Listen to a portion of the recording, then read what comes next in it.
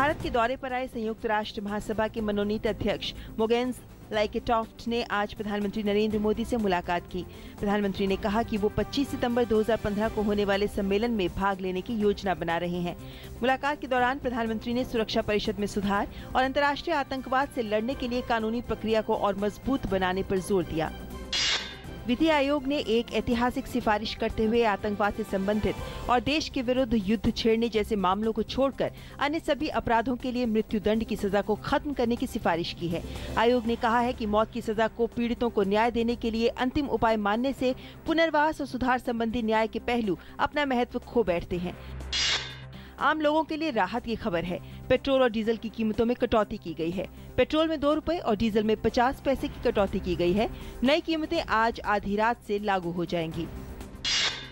प्रधानमंत्री नरेंद्र मोदी ने रामचरितमानस का विशेष डिजिटल संस्करण जारी किया। आकाशवाणी द्वारा तैयार किए गए इस डिजिटल स्वरूप के ज़रिए न सिर्फ़ देश बल्कि विदेशों में भी मानस प्रेमी, श्रोता इसका लाभ उठा सकेंगे। इस मौके पर प्रधानमंत्री ने आकाशवाणी की व्यापक पहुँच की प्रशंसा की। साथ ही प्रधानमंत्री ने कहा कि अंतर्राष्ट्रीय योग दिवस ने भारत को वैश्विक मंच प्रदान किया है। बिहार चुनाव को लेकर भारतीय जनता पार्टी के नेतृत्व वाले एनडीए के घटक दलों की नई दिल्ली में बैठक हुई। बैठक के बाद लोक जनशक्ति पार्टी अध्यक्ष रामविलास पासवान ने कहा कि ये एक अनौपचारिक बैठक थी और सीट बंटवारे पर हफ़्ते भर में निर्णय हो जाएगा।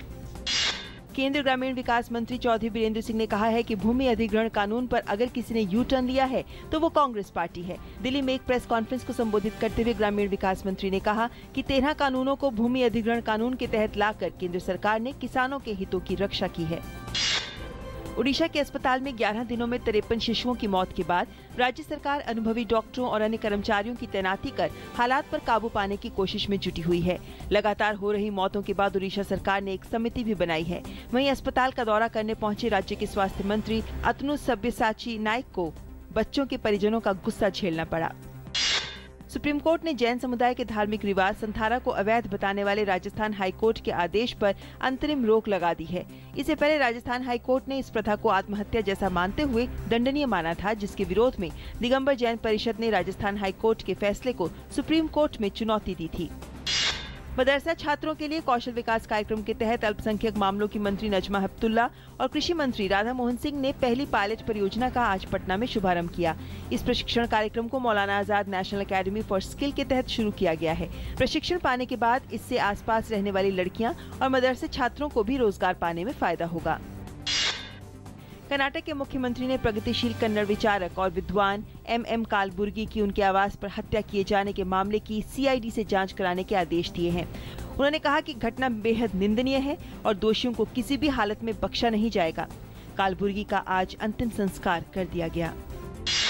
केंद्रीय शहरी विकास मंत्री एम वेंकैया नायडू ने आंध्र प्रदेश के नेल्लौर ज़िले में बीपीएल परिवारों की दस हज़ार से अधिक ग्रामीण महिलाओं को प्रधानमंत्री सुरक्षा बीमा योजना उपहार में दी। केंद्रीय मंत्री ने इन महिलाओं के बीमे की जीवन पर्यंत प्रीमियम की राशि अदा की। प्रधानमंत्री नरेंद्र मोदी ने रक्षाबंधन पर्व पर बहनों को कम से कम एक सामाजिक सुरक्षा योजना उपहार में देने की अपील की थी। शीना बोरा मर्डर केस में प्रमुख आरोपी इंद्राणी मुखर्जी और अन्य दो आरोपी, इंद्राणी के पूर्व पति संजीव खन्ना और ड्राइवर श्याम राय को आज मुंबई की अदालत में पेश किया गया। मुंबई पुलिस ने तीनों अभियुक्तों की रिमांड बढ़ाने की अपील की और अदालत ने इसे स्वीकारते हुए तीनों आरोपियों की पुलिस हिरासत पाँच सितंबर तक बढ़ा दी है।